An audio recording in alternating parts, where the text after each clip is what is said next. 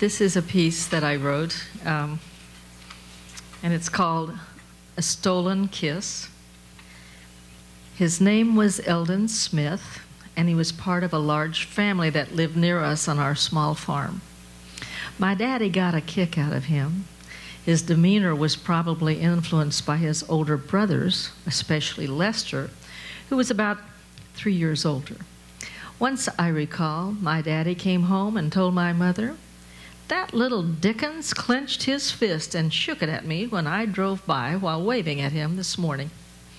Small in stature for his age, Eldon more than made up for it when confronted with his tormentors. Punching, kicking, and even biting was cause for concern among the boys at school. With his coal black hair and big brown eyes, he strutted around, daring them to tangle with him, even at six years old, a banty rooster with all of his feathers standing on end. My problem was, Eldon seemed to think I was his girlfriend. Hey, I don't think so. I had eyes only for his cousin, Donald Ray, who was quiet, with freckles on his nose and a lock of flyaway brown hair that fell in his eyes as he concentrated on drawing things. A talented artist, Donnie could draw horses. They seemed to prance across his tablet, and I was fascinated by his skillful renderings of my favorite animal. Shy, I asked him to teach me how to draw them. With simple strokes from his lead pencil, he sketched step by step instructions, and I was enthralled. Soon infatuated and turned to little girl hero worship, and he became my boyfriend. Sitting beside him at recess and trying to copy drawing movements filled me with a kind of joy. Meanwhile, Eldon seemed to be chasing me more and more around the playground. But I was a darter and could usually manage to penetrate my older girl cousin's circle to elude my attacker, then wait for him to back off and go somewhere else to play. One Saturday, Daddy asked if I wanted to go with him over to the Smith's house to see about buying some baby pigs from Eldon's father, Henry. With the lure of baby pigs, I forgot about my predicament with Eldon. After the transaction, my dad leaned against our old pickup, and he and Henry settled into a comfortable gab fest. One of Eldon's younger sisters, Charlene, was a friend of mine as well. She and I decided to go see her playhouse. As we settled down around her old pieces of dishes and pans to start our mud pies, here came her brothers with Lester in the lead. With a squeal, we fled our homemaking duties and the chase was on. I may have been a darter, but I was no match for Lester. He grabbed my one arm and Eldon latched onto the other, dragging me screaming away from Charlene. She tried to help me, but was quickly overwhelmed and pushed aside. While Lester held me, Eldon sneaked up and planted a solid kiss on my cheek. I was mortified as both boys laughed with glee and left me standing speechless. Years later, when Eldon and I met for the last time, I recalled the incident and we both laughed together. I had surprised him by coming by his home to see him. Many years had passed, and I had moved away when I was eight years old and lived my life in other places, but he had remained. Lester and I had also had a visit sometime before, after I had moved back to the area. Cancer had captured Eldon, and he wasn't doing good. He had asked Lester about me and had intended to stop by our appliance shop, but had never done so. On impulse one Saturday, I called his home and spoke to his wife, whom I had never met. I told her who I was, and she said, Please come, as he has talked about you and wants to see you. Would you mind if I surprised him? I asked.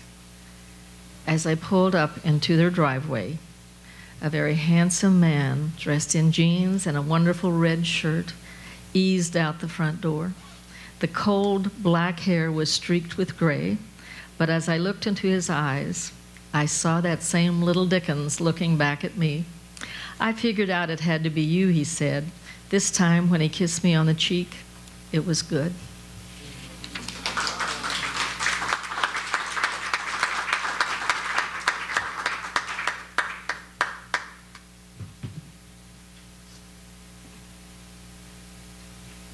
A prop for this one, so I hope it doesn't fall off. This is called Special Anniversary Edition. It all started innocently enough.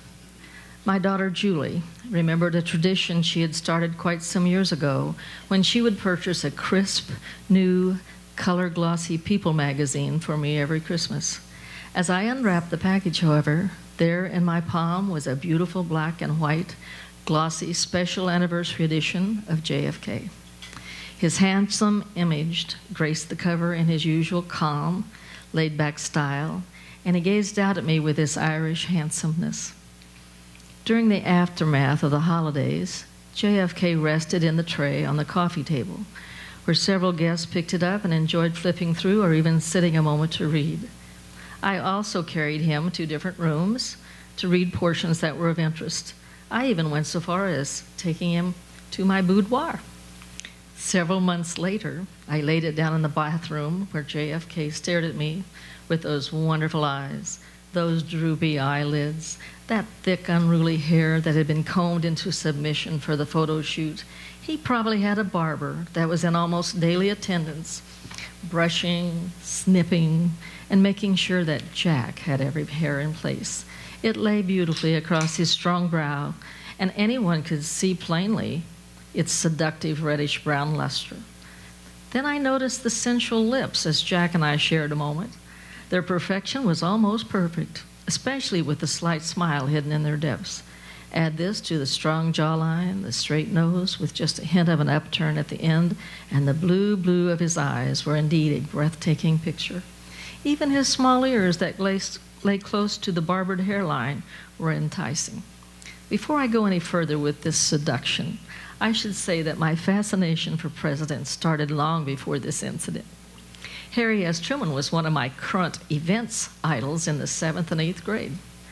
His little round glasses, his jaunty hat brim, and that cane. Debonair was the word that came to mind as he strolled the streets and sidewalks of Independence and Washington, D.C. Everyone knew his heart belonged to Bess. Plus, I was, very, I was way too young for him but the twinkle in his eye, oh my.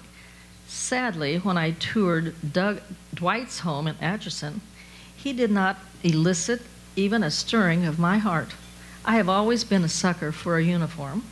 Remember when gas station attendants wore those little ball caps and white striped shirts as they leaned over your windshield and would sometimes coyly give you a sidelong smile? Dwight had Mamie with her bangs, and later in his autobiography, clearly was involved with his Jeep driver. Also, I think he scared me, so much military precision. Then I think it was the trip to Arkansas and touring the museum, museum with my sister Phyllis and her crush on Bill that started that put a damper on any of my amorous, amorous thoughts as it, I did not want to come between them. I only wanted to question the curator to ask where Monica's dress was enshrined but Phyllis gave me her sternest teacher's look, so my innocent query would forever be unanswered. But for some unknown reason, later, an erotic dream, one of the best I ever had, starred Bill, and believe me, he lived up to his reputation. That dog? So my encounter with him was somewhat memorable. Touring presidential museums, as everyone knows, is very educational. So during Christmas in Los Angeles last year, we all trooped off to see Ronnie. I was delighted to see the kaleidoscope of colored jelly beans on his desk in the Oval Office and another jar filled on Air Force One. His movie star looks and the way he rode his horse was so masterful that I soon fell for his image.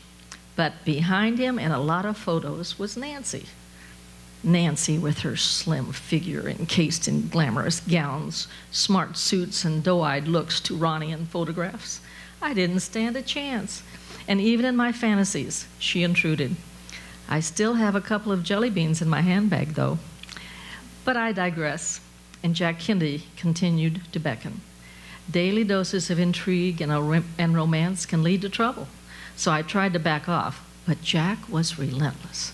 His reputation for pursuit of women was not just a rumor.